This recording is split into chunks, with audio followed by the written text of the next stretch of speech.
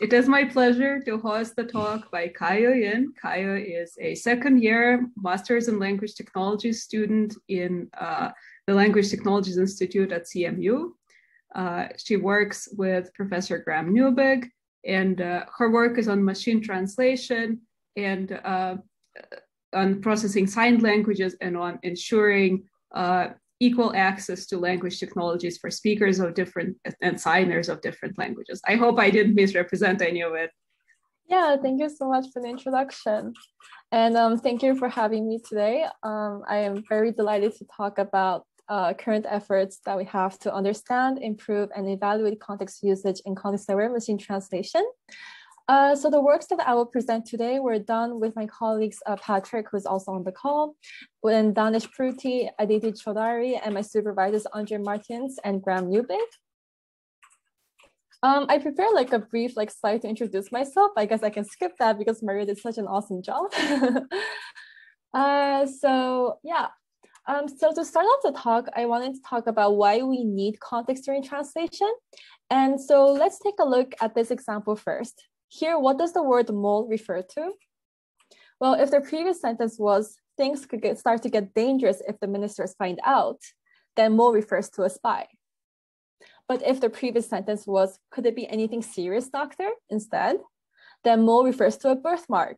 So depending on context, the meaning of the word changes, and therefore its translation depends on the context as well. Current neural machine translation models are reasonably good at sentence level translation for high resource language pairs such as English and French.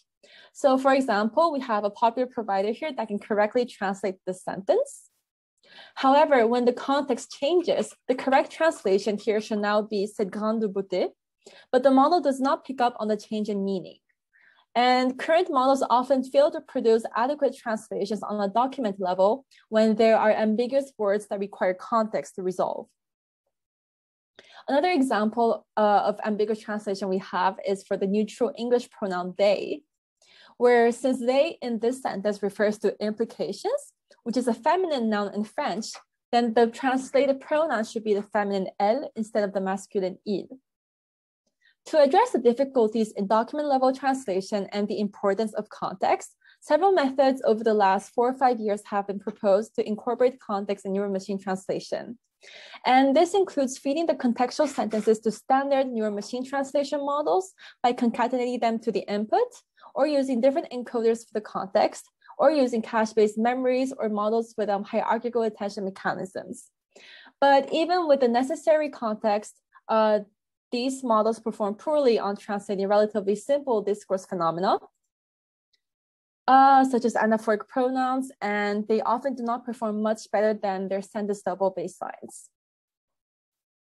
So as an example, um, in this example, it refers to report, which is a masculine noun in French. So the pronoun should be the masculine il.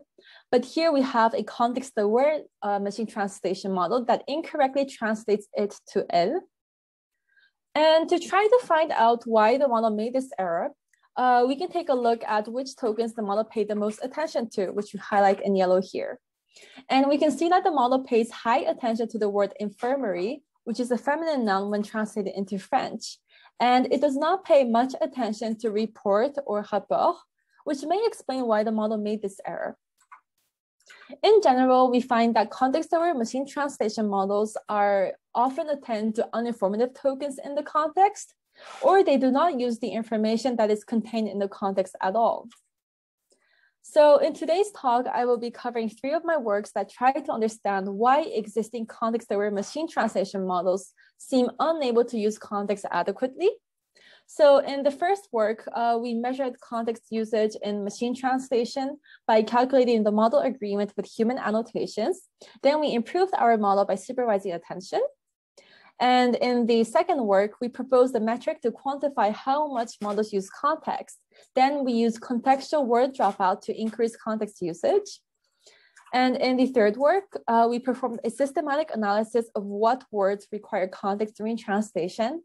Then we developed a targeted benchmark to evaluate these models on five types of ambiguous discourse phenomena. And you can also find the code and data supporting these three papers uh, on this link here.